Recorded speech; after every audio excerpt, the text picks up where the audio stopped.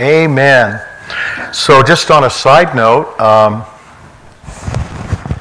I'm going to do this on Sunday as well, but I really want to encourage you. Uh, I have said from the beginning that President Trump will be our president. And I love the way Scripture reads everything's impossible before a miracle comes. Uh, and it's usually at 11:59 and 47 seconds. Sometimes, in my case, it's been 11:59 and 58 seconds, but God never shows up late. And so, I just want to read you this and let the Lord encourage you with His Word tonight. So, it's entitled, and it's on our bulletin for Sunday, and you'll you'll get it on Sunday. But I wanted to get. I'm so excited about the Word the Lord gave me. Trust the character of God. Not your experiences, not what you think God can or can't do, but trust the character of God. Okay? So as we enter into the new year, let us trust God's eternal character to do that which is good in our land. He says He will. We already have the victory in our Lord and Savior Jesus Christ. Amen? So I'm going to give you some scriptures here. Habakkuk chapter 1 and verse 5. Behold, you among the nations, and regard and wonder marvelously, for I will work a work in your days that even if it were told to you, you will not believe it. And then Exodus 14, verses 13 and 14 Fear not, stand still, and see the deliverance or the salvation of the Lord which he will show you today. For the Egyptians whom you have seen, that's a picture, a picture of the world, the worldly ones, you shall see them again no more forever. Oh, I pray that's true. the Lord will fight for you, and you will be quiet and hold your peace. Then 1 Thessalonians 5:24, faithful is God who has called you, who also will do it. And uh, John chapter 20 and verse 29, this is the story about Thomas when the disciples had seen Thomas or seen Jesus, but Thomas wasn't there. So Thomas said, You know, un- until I see the, the prints of the nails in his hands and put my hand into his side, I won't believe. And then, of course, when he saw Jesus, Jesus said, Come here, put, put, put your fingers in, in the holes and put your hand in my side. And be not faithless, but believing. And Thomas, do you remember what he said to him? My Lord and my God. That was a confession. That wasn't an exclamation. That wasn't like, oh my goodness. That was my Lord and my God. And then the next verse, John 20, 29, Jesus said to him, Thomas, because you have seen me, you have believed. Blessed are those who have not seen and yet believed. And that's what God's doing right now in our land. He's looking among Christians in our land to see who's going to believe even though we don't see yet. And I'm telling you right now, thus saith the Lord, God is going to use those who hold on to his promises. He's going to use those who hold on to his promises. And then Psalm 46:10, he says, "Be still and know that I'm God." So I wrote over here, just wait and then you'll see.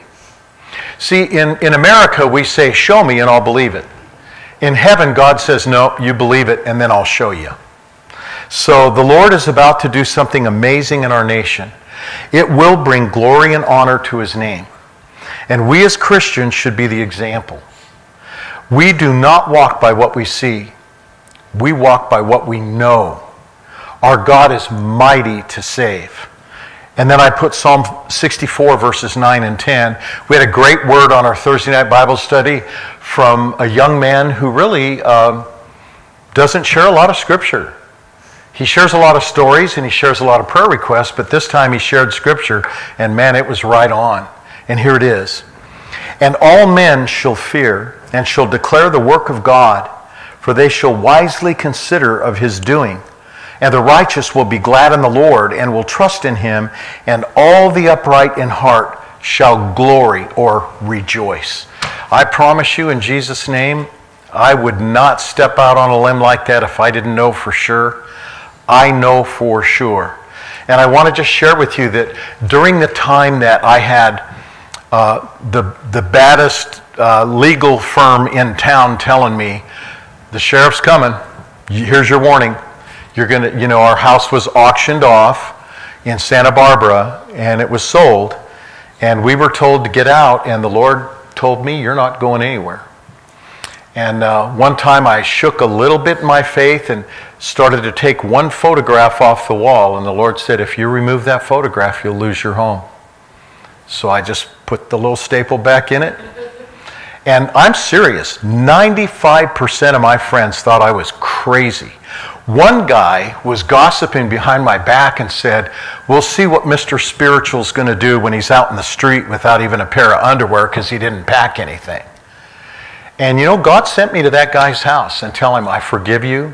I love you. I know everybody was upset during this trial. It's okay. And uh, he wouldn't even answer the door. And I told him through the door, I love you and I forgive you and God bless you and I'm not upset with you at all.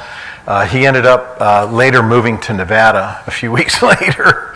So it really affected people because when you believe God for something and God shows you it's going to happen. I mean, think about this. Think about what Joseph and Mary endured. You can hear the gossip in Nazareth. Remember, she was there for eight months. The Bible says when they went to Bethlehem, her days, not her months or her weeks, but her days were accomplished that she should deliver a son. So for eight months, she was in, in, uh, in Nazareth and she kept getting bigger and bigger and bigger.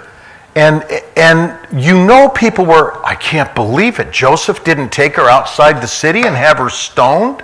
That's the law. You mean to tell me he's going to marry someone and that's not even his child? And you know how the gossip goes. Think about the things they had to endure. But they stuck with the Word of God. They went to Bethlehem. And I mean, God moved the whole nation around just to get him to Bethlehem. Think about that. How Cyrenius had first started the taxes, and then, and then uh, Herod said, okay, everybody go back to your home city. God did that just for them so that prophecy could be fulfilled. And I tell you, there have been prophets in the land saying exactly the same thing. And it was interesting because I said it just out of what God showed me, and then people kept telling me, Did you listen to this guy? Did you listen to that guy? Did you listen to this guy? Did you listen to that guy? Look, I know there's a lot of false prophets in the land, but there's some real ones too. And there's some ones who are tried, true, and proven, and the things they've said have surely come to pass. And I believe with all my heart I'm not going to change. And I got mocked at the Harley shop the other day. Uh, these guys were all talking about what are we going to do when Biden gets in? And I said the fact of it is he's not going to get in. In fact, he's going to he's going to have to concede, and he's going to do it in shame. Just like I preached when I preached the message on Sennacherib, how Sennacherib puffed himself up and he went home with his tail between his legs, ashamed, right back where he came from, and his own family killed him. And I don't believe Biden's family is going to kill him, but I think their sin and their crookedness is going to kill him politically. So that's a free commercial tonight. Uh, but I am telling you, I know what I know, and I know what God showed me. And, and then when you hear all the experts and, and that thing you sent me last night, Kathy, that, uh, that prophecy of those three prophets and that other guy, it was like, wow, that is such confirmation. And you know, you can't forget the scripture by two or three words, by two or three witnesses, every word shall be established.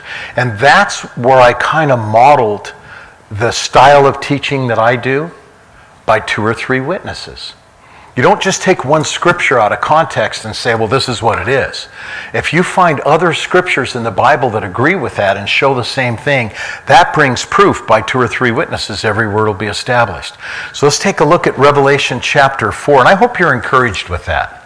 And I know, I know it goes against the grain, but you read the Bible, everything in the Bible is against the grain. Everything is against the grain, and praise God for it because he does these things for his own name's sake. Why should his name be polluted? He will not give his glory to any man. God himself is going to get this victory. Nobody, Supreme Court or nobody else is going to be able to fix this. God himself is going to fix this, and it's going to be amazing. Praise the Lord. Yes.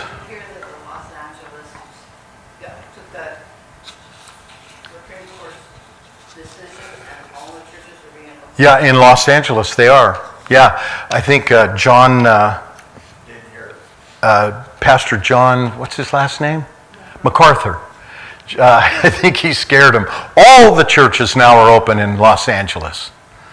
So uh, I just believe it's time. God is looking in the nation to see who is going to stand up for righteousness.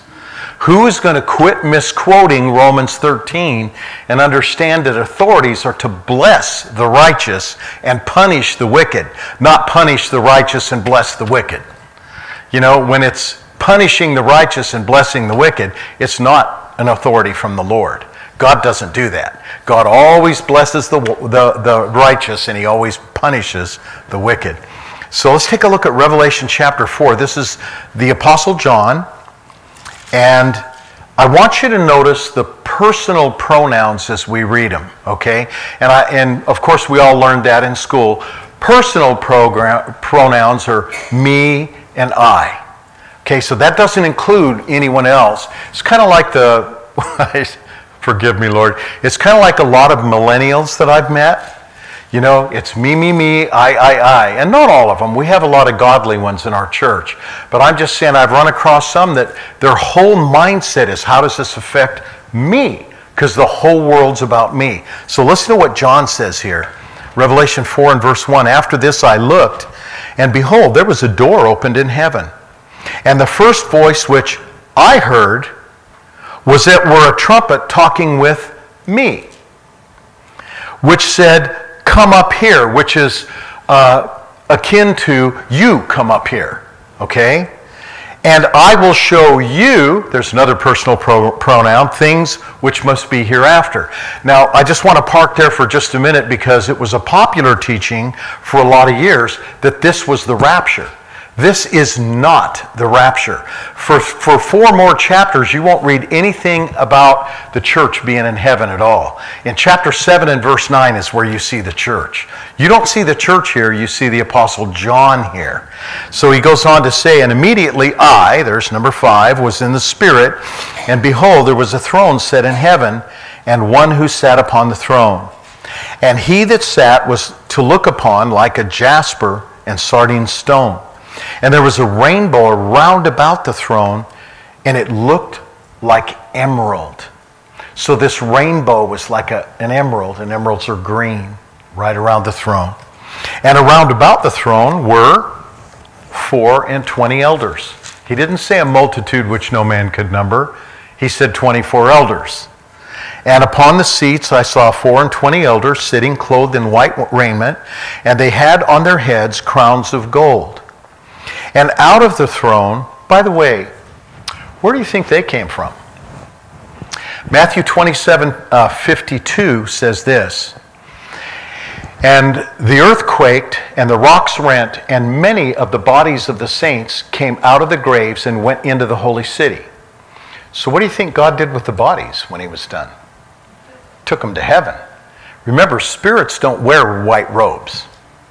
And John saw people dressed in white robes, and I believe those were Old Testament saints that came out of the graves, went into the holy city, preached the good news, and then resurrected with Christ. So it goes on to say, and out of the throne proceeded lightnings and thunderings and voices. And there were seven lamps of fire burning before the throne, which are the seven spirits of God. And before the throne there was a sea of glass like unto crystal. And in the midst of the throne and round about the throne there were four beasts. They were full of eyes in front and behind. And the first beast was like a lion. The second beast was like a calf. The third beast had a face like a man. And the fourth beast was like a flying eagle. And the four beasts had each of them six wings around him and they were full of eyes within, and they don't rest day or night, saying, Holy, holy, holy, Lord God Almighty, which was and is and is to come. And when those beasts give glory and honor and thanks to him who sits on the throne, who lives forever and ever, the four and twenty elders fall down before him that sit on the throne and worship him who lives forever and ever. And they cast their crowns before the throne, saying, Thou art worthy, O Lord, to receive glory and honor and power, for thou hast created all things, and for thy pleasure they are and were created. Wow, that's such a great story. Let's go back and take a look. Verse 1. What did John hear? Well, the Bible says he heard a trumpet. And who was the trumpet speaking to? Him personally. He was exiled on the island of Patmos, which is just off the west coast of modern day Turkey. That's where the seven churches were located. We just studied all of those in chapter 3 and chapter 2. So, all the seven churches were in the mainland. It was then called Asia, but now it's called Turkey. And right off the west coast of all of those churches, and modern day Turkey, was an island called Patmos. And John had been exiled to that island because of his beliefs. So he hears this trumpet. And who was God asking to come up there? Him. There was no one else asked to come up. It was all personal pronouns, okay? And listen to some of them. I looked, I heard. It was talking with me. And God said, I will show you. So God was obviously talking with John alone. So I want to center in on God's personal relationship with us. Okay? I know he has a collective relationship with the body of Christ, but I want to center in on he has a personal relationship with you, Jack, and Pam with you. And Robert, when you were in your mother's womb, God had a personal relationship with you. He personally touched you. So let's take a look. Psalm 139. And it's self explanatory. We'll just read it. Psalm in the middle of your Bible, Psalm 139. And I want to go through the first 12 verses. So this is a psalm of David, and David cries out, O Lord, you have searched me and known me. And that word know isn't like we know who the president is or we know who the mayor is. We don't know them, we just know who they are. God says He knows us intimately, everything about us. Verse 2 You know my downsetting and my uprising. You understand my thoughts afar off. I've said it, and maybe you've said it too. No one understands where I'm at. Oh, yes, there is someone who understands where you're at. God understands where you're at. I've talked to people during the Christmas season, and they're saying, Oh man, I, I have up days, I have down days. God knows all about that. It says right here, you know my down sitting and my uprising. You understand my thoughts afar off. You surround my path and my lying down, and you are acquainted with all of my ways. For there is not a word in my tongue, but you, O Lord, know it altogether. You have beset me behind and before, and you've laid your hand upon me. Where did you do that at? in the lowest parts of the earth when you were in your mother's womb. Such knowledge is too wonderful for me. It is high, and I can't understand it or attain to it or grab it. So, where shall I go from your spirit? How shall I flee from your presence? If I ascend up into heaven, you are there. If I make my bed in the grave, behold, you are there. If I take the wings of the morning and dwell in the uttermost parts of the sea, even there your hand will lead me and your right hand will hold me. By the way, God's right hand is Jesus Christ. God's always got us. You know, you know that song, He's got the whole world in His hand? Probably came from that verse. Verse 11 If I say, well, surely the darkness is covering me, even the night will be light round about me. Because the darkness does not hide from God, but the night shines just like the day, and the darkness and the light are both alike to the Lord. Amen? So it's a personal relationship that God knows everything about us. And maybe when you were growing up, you had a parent or a loved one or even a friend tell you uh, something critical about your personality. God made you the way He made you. God doesn't make mistakes. I remember when my daughter Christina was young, and I, I hate to say this, but her grandmother was a hypochondriac times 20. She, just, she had a whole cabinet full of pills and prescriptions. It was unbelievable. When I say a whole cabinet, I don't mean you open the cabinet door. I mean you open five cabinet doors. All above the, the sink there, just full of bottles of pills and prescriptions. And so she began to tell my eight year old daughter, Your nose is too big. You need, to, you need to talk to your dad about getting a nose job. And I would hear this at the breakfast table. I was a single parent. And my daughter would say, Dad, I, I need to have something done to my nose. My nose is too big. And finally, one day I'd had it. I lost it. And I just said, okay, so Christina, what you're saying is that God made a mistake when he formed you in the mother's womb. God, does God make mistakes? I never heard another word out of her about that. And of course, now she's grown and her nose is perfect and she's a beautiful young lady. And uh, I am so glad that grandma didn't have the power to take her to some surgeon and have her nose messed with. And you know, some of these people in Hollywood, they get their lips and their cheeks and everything. It's like somebody took dry ice and froze their face. You know, it's amazing how people mess with God's creation. God made us perfect. And that's all I wanted to share out of verse 1 is God knew everything about John. And this was a personal touch just for John. In verse 2, the Bible says that John was immediately in the Spirit and he saw. So we know that he didn't go there in his body because flesh and blood can't inherit the kingdom of God. So even those elders that were in heaven, dressed in the white robes, they're not in their natural bodies. Okay, by the way, those bodies were raised from the grave.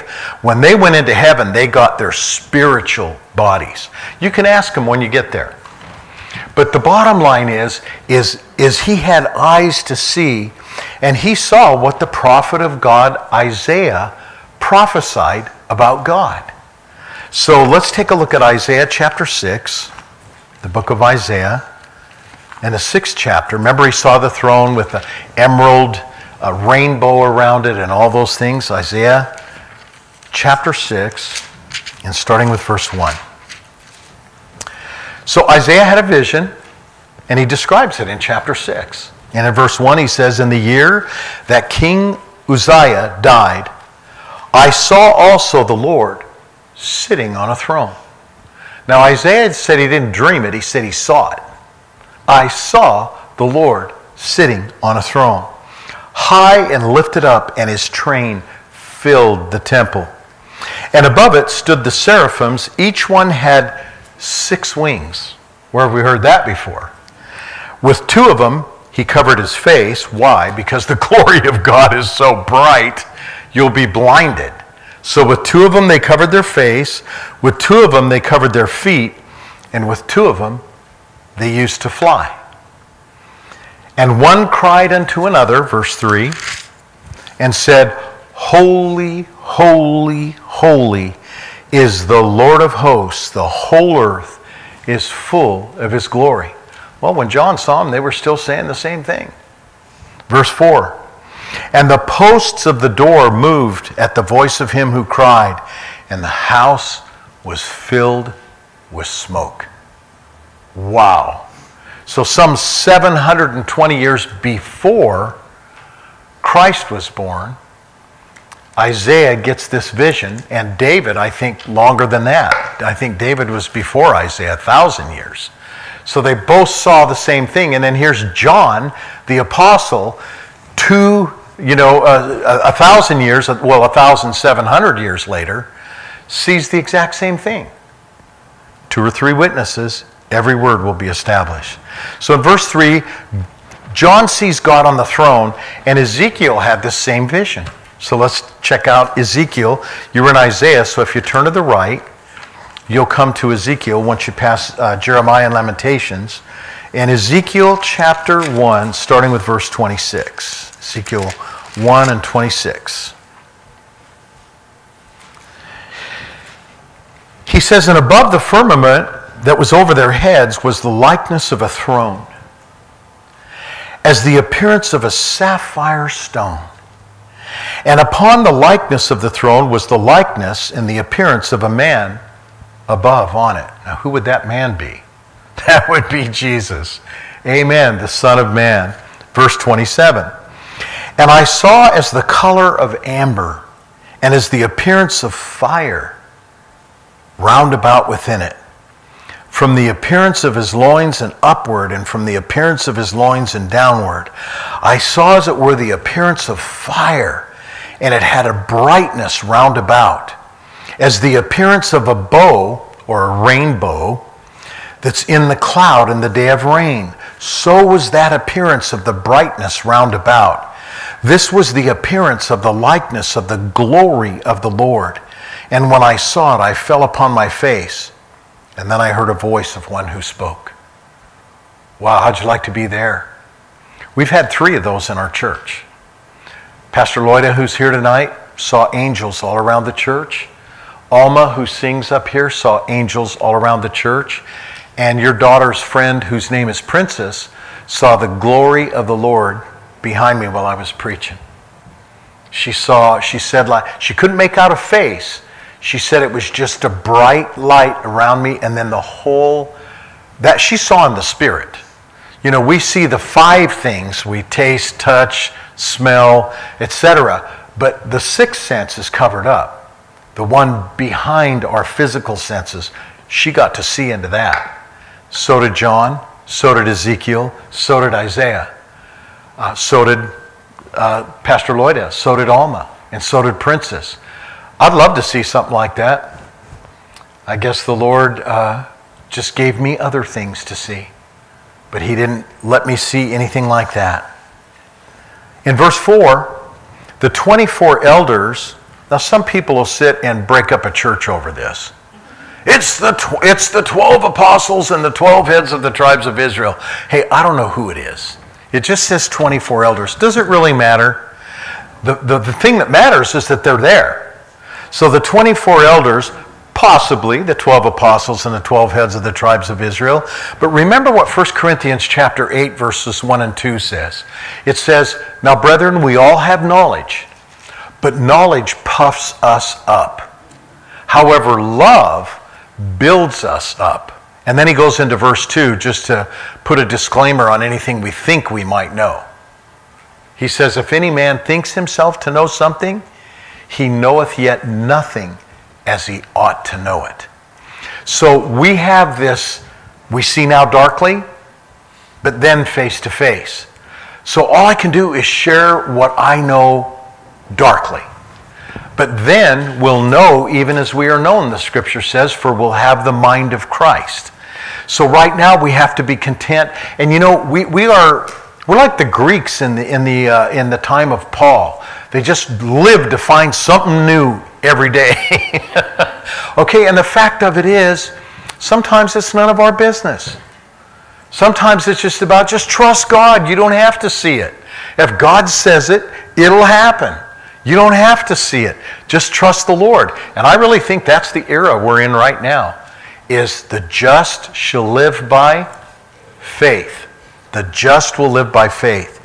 So in verse 5, uh, we read about the seven flames or the seven spirits of God, and that can be troubling because the scripture says in Ephesians chapter 4 there's one God, one Spirit, one Lord. So where do we get seven spirits from? Okay, so let's take let's look into that. First of all, Ephesians chapter 2 and verse 18. You know, and these are all things that when you read the scripture you say, what does that mean? And that's why God says study to show yourself approved unto God. So that's why we study. So we can find out what do these things mean. Amen? So in Ephesians chapter 2, verse 18, the Bible says this For through him we both have access by one Spirit unto the Father. Now, remember the scripture that talks about the fruit of the Spirit? Now, the fruit of the Spirit is love. God says the fruit of the Spirit is love, but it has facets like a diamond. Okay? Joy and peace and long suffering and gentleness and meekness and temperance and faith. Those are the facets of God's Spirit, the, the gifts of the Spirit, which, are, which is love. And love looks like joy and peace and long suffering and gentleness and meekness and temperance and faith. So, don't you think that the Spirit of God has different qualities as well? And that's what God is talking about. Not seven separate spirits, but a sevenfold Spirit of God. Seven different aspects to what the Holy Spirit does. So we'll take a look in just a minute. So in Ephesians chapter 4, verses 3 and 4, the scripture says, We endeavor to keep the unity of the Spirit in the bond of peace. There is one body and one Spirit even as you were called in the hope of your in one hope of your calling. Okay, so there we get again one spirit. And then let's take a look at Isaiah chapter 11 and verse 2. So there's only one spirit, or the Spirit of God. There's a lot of wicked spirits, but there's one Spirit of God. So Isaiah talks about the peaceable kingdom of the Messiah. And in verse chapter 11 and verse 1, he says, And there shall come forth a rod out of the stem of Jesse. Now remember, Jesse was David's father. So he's the stem that's coming out of the rod of Jesse, and a branch will grow out of his roots. In other words, the Messiah comes through the house of David. Amen? Now look at verse 2. So where are where is this sevenfold Spirit of God? All right, now watch. The Spirit of the Lord, count with me, number one, shall rest upon him. The Spirit of wisdom, the Spirit of understanding, the Spirit of counsel, the Spirit of might, the Spirit of knowledge, and of the fear of the Lord. So God's Spirit, just like love, joy, peace, long suffering, gentleness, meekness, temperance, and faith, just like that. God's Spirit, it's the Spirit of the Lord and the Spirit of wisdom and the Spirit of understanding. Now, what's the difference between the Spirit of wisdom and the Spirit of understanding? Okay, you know where the scripture says, with all thy getting, get wisdom, and with all thy getting, get understanding. Well, what does that mean?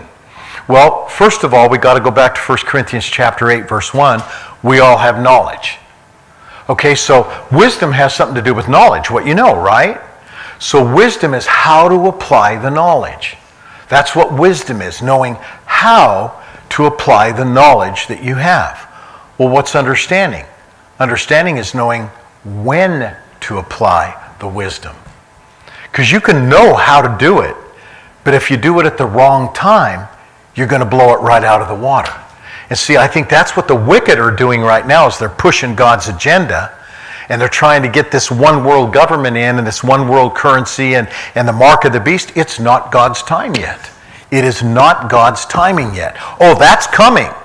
But I believe because God has seen the righteous in our land praying and fasting and believe in God for the goodness of God and the mercy of God, like Isaiah 54:10 says, the mountains will shake and the hills will fall, but my mercy will not depart from you, saith the Lord who hath mercy upon thee.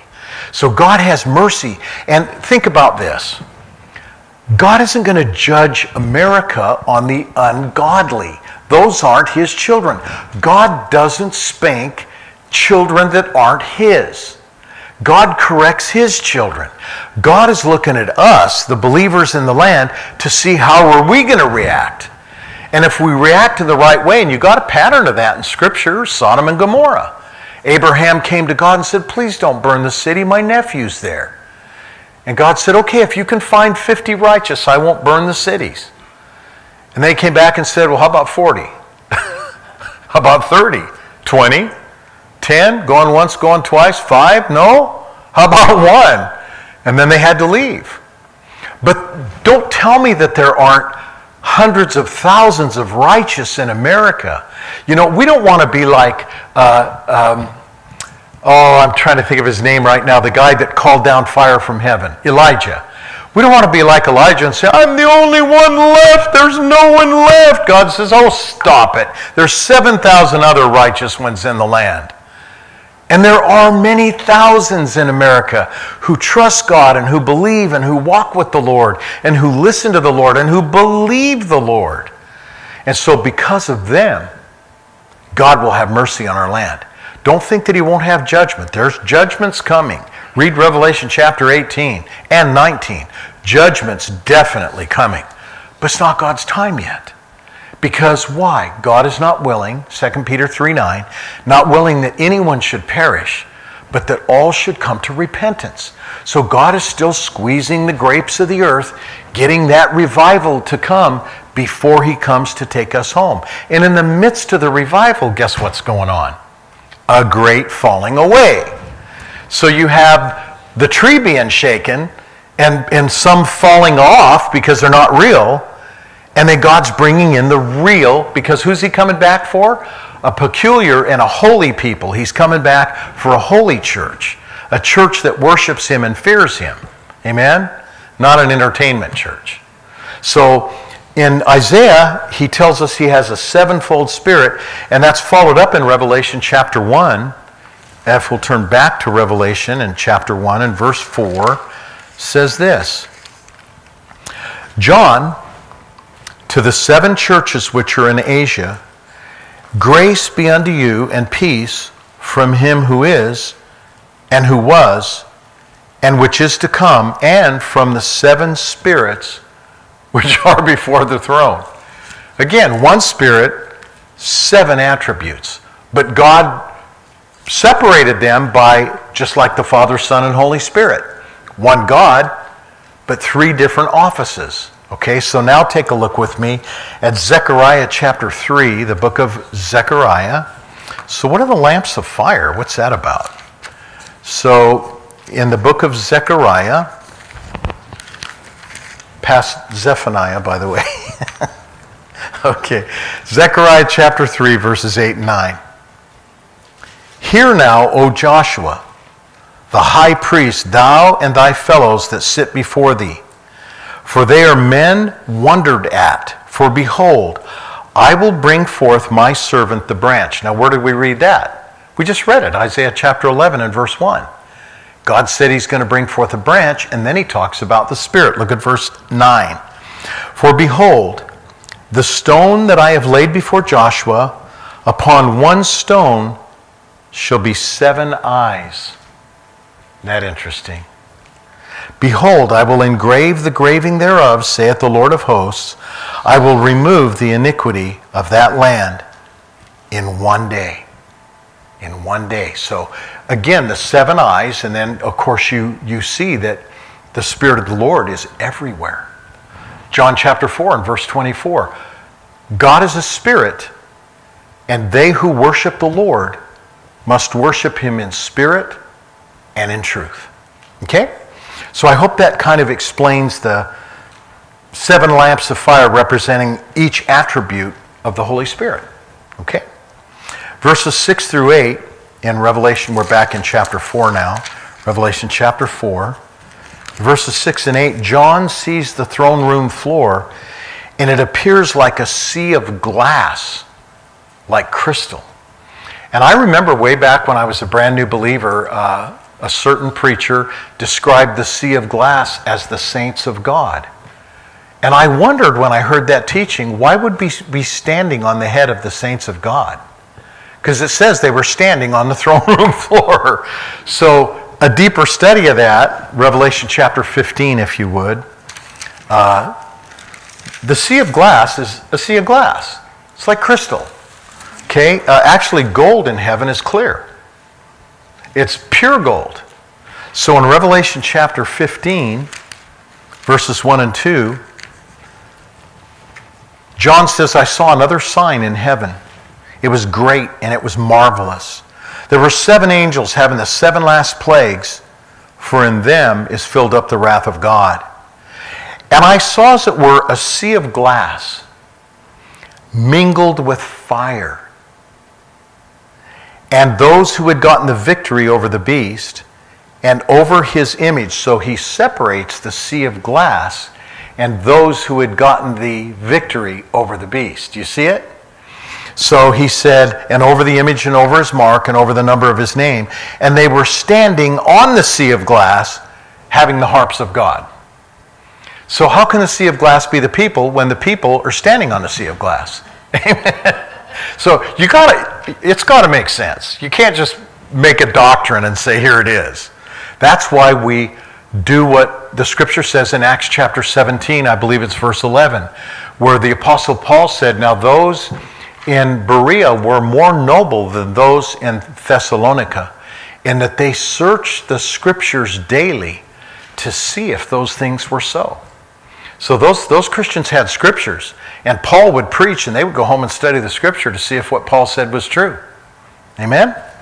So John also saw four beasts full of eyes in front and in back, and that's back in Ezekiel. Remember when he talks about the beasts and they have eyes all around them in front and behind?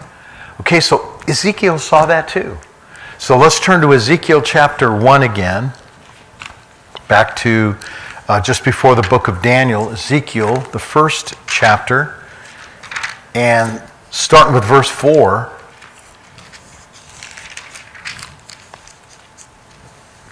So here's Ezekiel giving his testimony. Ezekiel chapter 1, starting with verse 4. I looked, and behold, a whirlwind came out of the north. There was a great cloud and a fire enfolding itself and there was a brightness around about it, and out of the middle of it, there was like the color of amber out of the midst of the fire. And also out of the midst of it came a likeness of four living creatures. And this was their appearance. They had the likeness of a man. And every one had four faces. Every one had four wings. Their feet were straight feet and the sole of their feet was like the sole of a calf's foot. Remember, we read that. And they sparkled like the color of burnished brass. And they had hands of a man under their wings on their four sides, and the four of them had faces and their wings. And their wings were joined one to another, and they turned not when they went, and they went every one straight forward. And for the likeness of their faces, they four had the face of a man, the face of a lion on the right side, and they had four had the face of an ox, and they had a face of an eagle on the other side. And thus were their faces, and their wings were stretched upward. Two wings of every one were joined one to another, and two covered their bodies. And they went every one straight forward. Whither the Spirit was to go, they went, and they turned not when they went.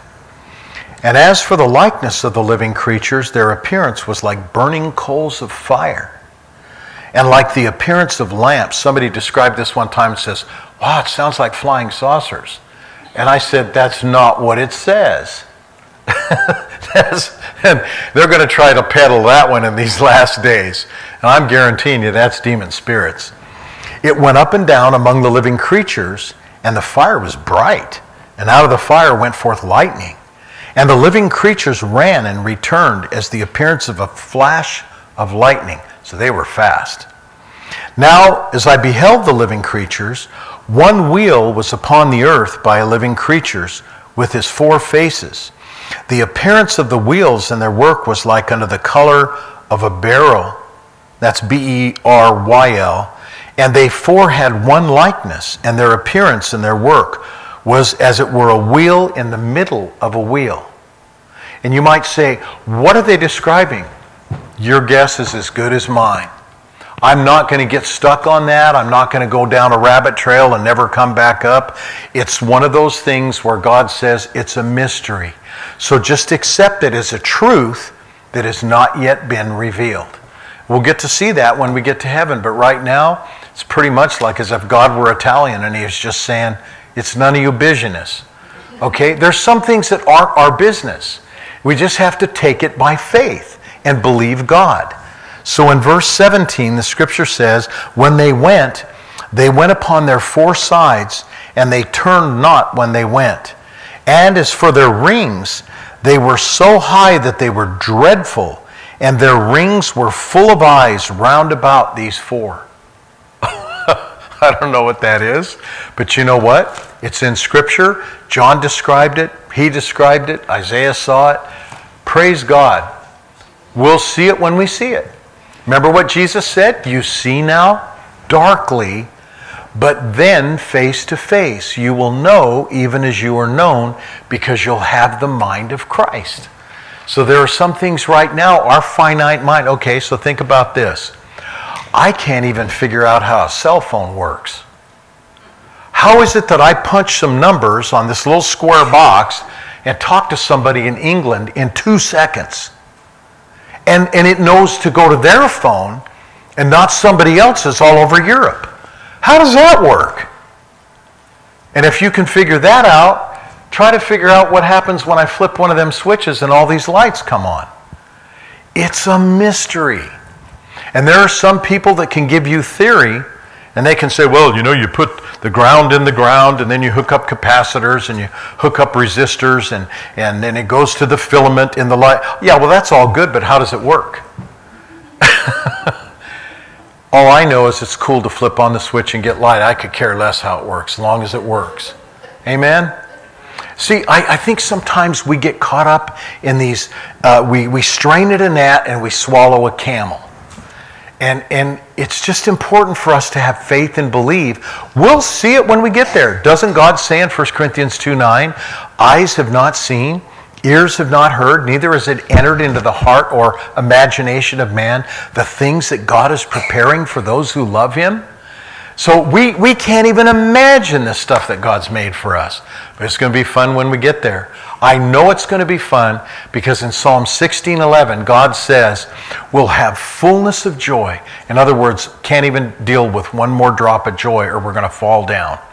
Just fullness of joy and pleasures forevermore.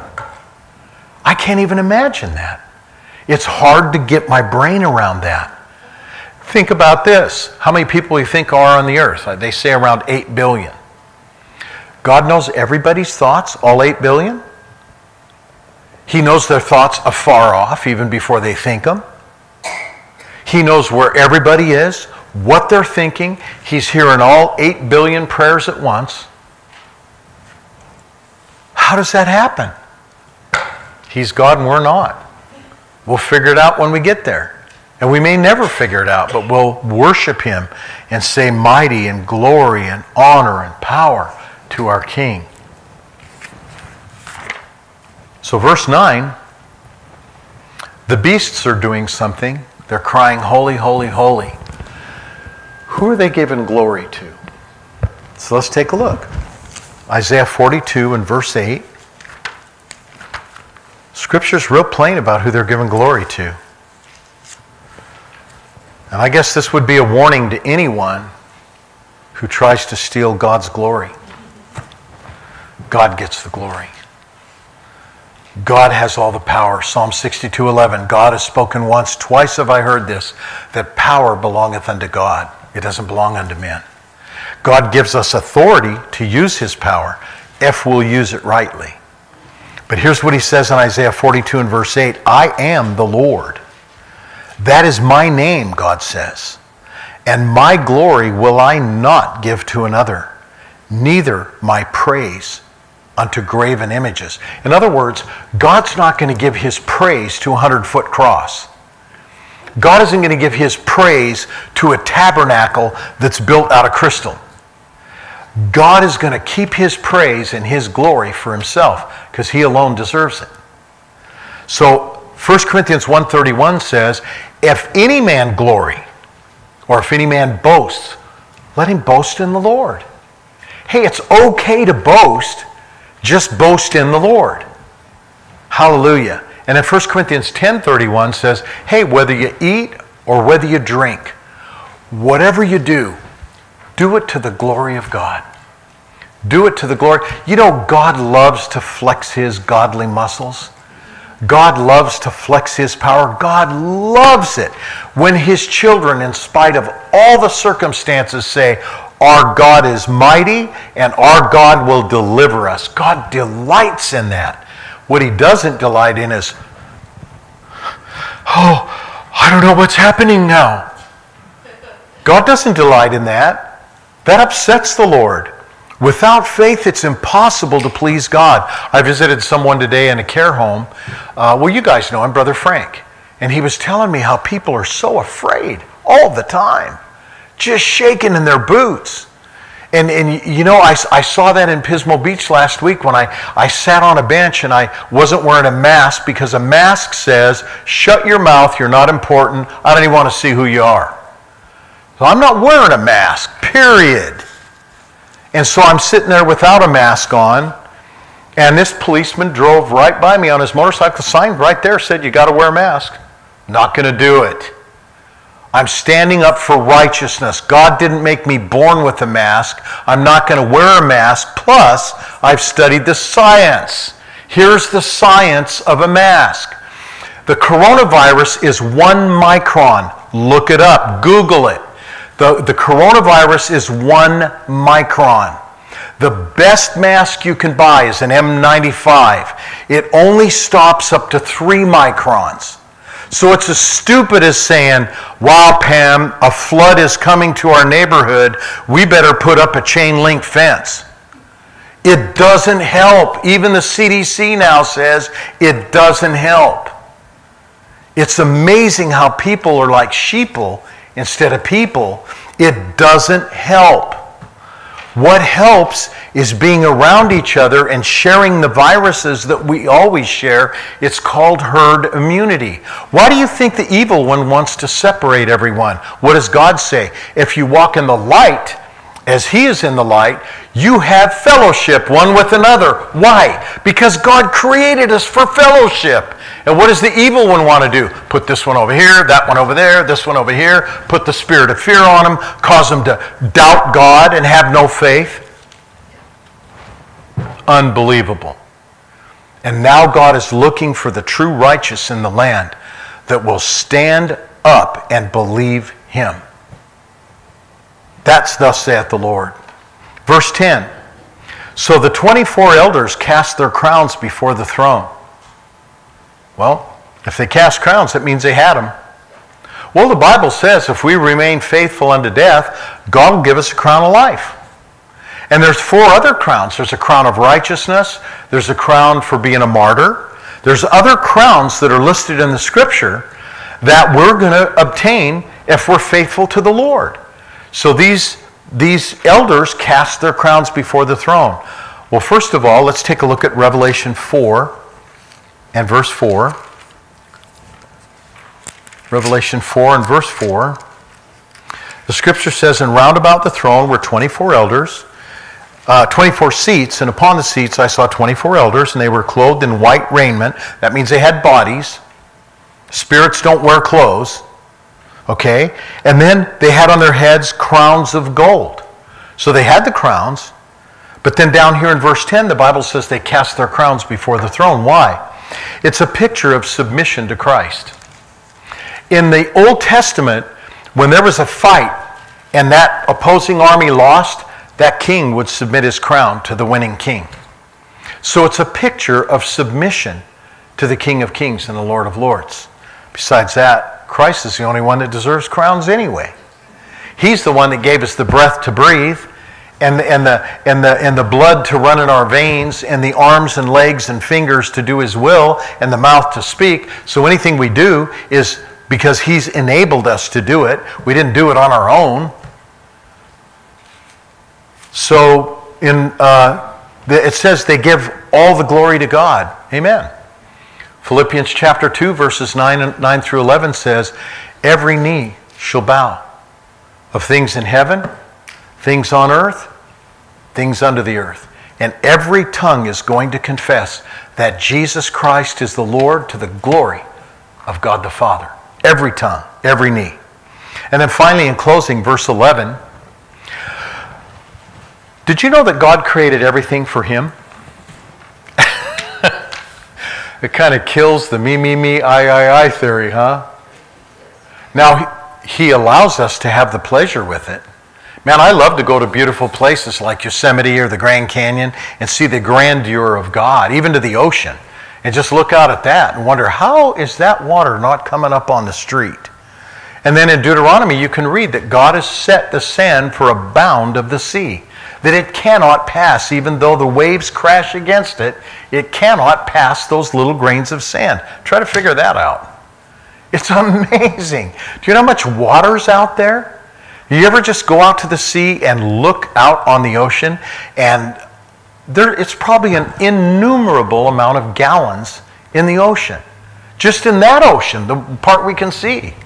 And yet these little teensy grains of sand, and the way to really see how teensy they are is just go up there and get you a cup full of, of seawater. Take it home and just let it evaporate. What you got in the bottom is grains of sand.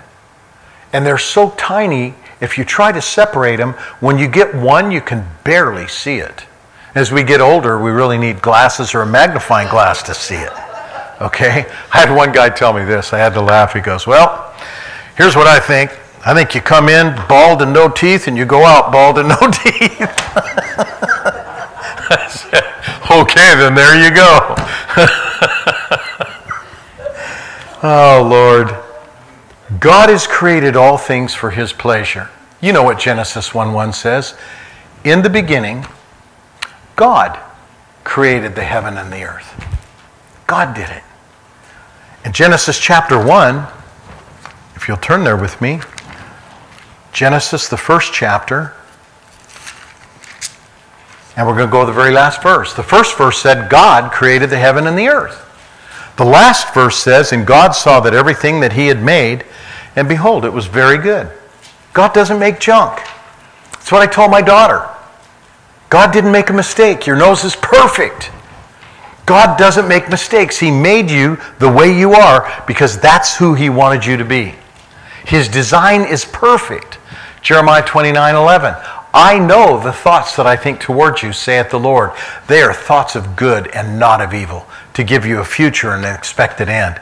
God knows the, the architectural plan for each one of our lives. God saw everything. He said it's very good. And the evening and the morning were the sixth day. And then Isaiah 48 11. God says, I do these things for my own name's sake. Why should my name be polluted? I will not give my glory to any man. So God does it for himself. And then look at John chapter 1, verses 1 through 3. In the beginning was the Word, and the Word was with God, and the Word was God. And all things, the same was in the beginning with God, the scripture says. Genesis chapter 1. The same was in the beginning with God. And all things were made by him, and without him, nothing was made that was made talking about Jesus. So I want to summarize Revelation chapter 4 and then we can close. So this chapter reveals the glory of God and the power that's present in the setting of heaven. The power that's there, the 24 elders that are throwing their crowns, those four beasts that cry day and night for eternity. Holy, holy, holy, holy is the Lord God Almighty. They're going to be doing it when we get up there. That's what they do for eternity. Anywhere we go in heaven, we're going to hear them. Holy, holy, holy, Lord God Almighty. That's all they do, all day, all night, forever and ever. Holy, holy, holy is the Lord God Almighty. Now, especially highlighted are the activities in heaven, which is worship, praise, and the adoration of the Lord and Him alone. Jesus is God, and He's the center of attention in heaven. So, my last statement tonight is how much more should He be the center of our attention, especially during this holiday uh, season in Christmas, these holy days that we're walking in? He should be the center of our attention. And man, there's so many things that are trying to steal our attention right now. All this crazy news and all the rumors and the gossip and all the bad news and oh, there's more shutdowns and this and that. God just wants us to stand up, walk in righteousness before Him, be bold as a lion, and continue to obey Him. He will cover us and He will watch over us. Amen? Praise the Lord. Father, thank you for tonight's teaching. I am so encouraged by your word. Revelation chapter 4 is amazing, Lord, and it shows us that you are truly the center of the universe and that all glory belongs to you. All wisdom, all power, all understanding, everything belongs to you, Lord. So tonight we give you praise and we give you glory. We ask that you use this video that's been recorded on YouTube to encourage saints in the land. And Father, I would pray that those who do watch this on YouTube would play it forward, pass it on to those who are shaking, shaken in their faith, or perhaps doubting, or perhaps discouraged, or even displeased with what's happening in our land, and see that Jesus is Lord and God of all. So we thank you and we praise you tonight. Bless us now as we dismiss. In Jesus' holy name. And all of God's people said, Amen and amen. Praise God.